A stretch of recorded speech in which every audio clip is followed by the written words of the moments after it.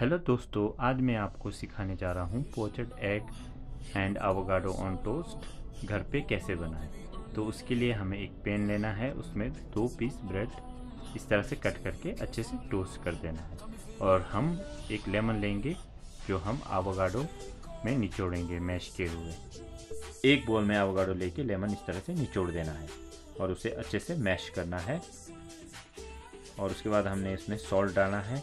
और थोड़ा सा पेपर डाल दीजिए।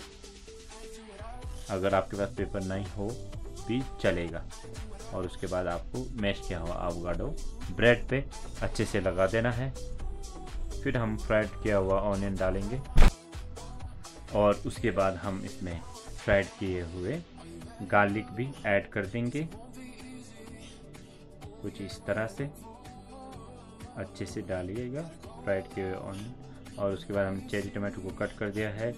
सलाद पत्ते को भी हम छोटे छोटे पीसीस में कट कर देंगे, ताकि टोस्ट में अच्छे से टिक जाए। तो ये हमने सलाद पत्ता काट दिया है।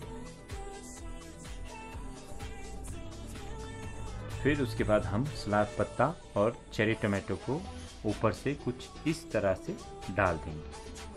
अच्छे से डालने के बाद हम पोचट एग की तैयारी करेंगे। हमें एक फ्राई पैन ले देना है पानी के साथ और उसमें हमें थोड़ा सा विनेगर और सॉल्ट डाल देना है ताकि पोस्टेड एग में थोड़ा सा टेस्ट अच्छा आए।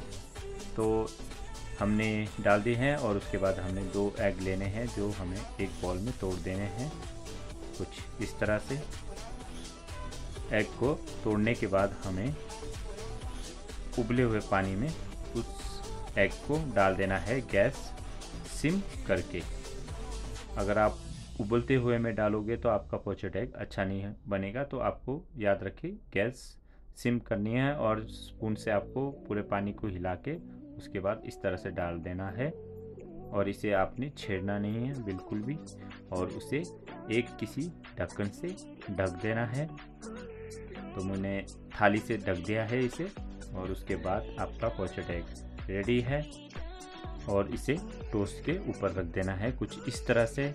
और थोड़ा सा सेसम सीड भी आपने ऊपर से छिड़क देना है, जिसे हम वाइट तिल भी कहते हैं। और इस रेसिपी को घर पे ज़रूर ट्राई करें। आपको कैसा लगा प्लीज़ कमेंट करें शेयर करें मेरे वीडियो को और सपोर्ट करें।